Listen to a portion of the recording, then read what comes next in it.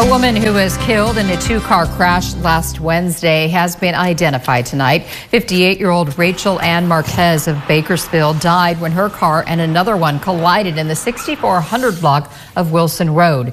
Impairment does not appear to be a factor in the crash, according to police. The other driver was not injured, but Marquez died at the scene. The investigation is ongoing. Anyone with information is urged to contact Bakersfield Police at 327 7111.